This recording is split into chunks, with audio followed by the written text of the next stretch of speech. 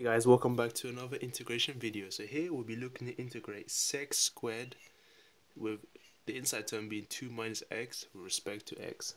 So how do we actually do this? Well, there's actual there's an actual definition this way. I mean, um, I'm not going to show you the long way because when it comes to solving this, you want to know the, the general rules.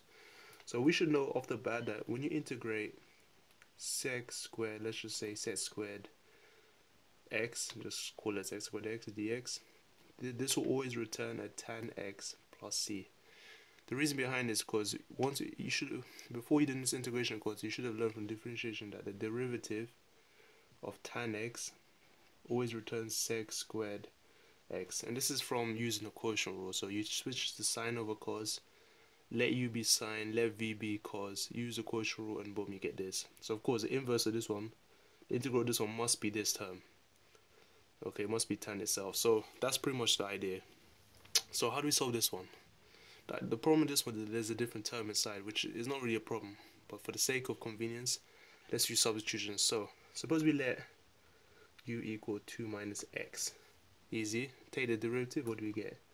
We get du or du over dx equals the derivative of this one is just minus 1 now multiplying both sides by dx we get du equals minus dx or, to make it even better, dx equals minus du. Since we want to replace dx. Yeah, and literally that's it. Now popping everything back in, what do we have? So now we have the integral of sec squared, replacing 2 minus x with u. And this becomes minus d, so put minus there, du.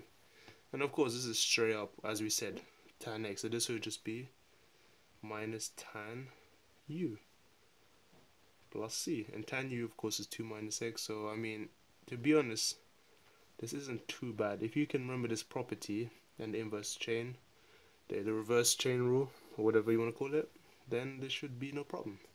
But yeah, guys, this is literally how you solve this problem. I mean, if you've got any other questions, let me know. So this, this can work with any single problem. You just let this one be you. Re recognize that this is already an identity, and boom, voila, you have this solution. But yeah, ciao guys, and I shall see you in the next video. Bye-bye.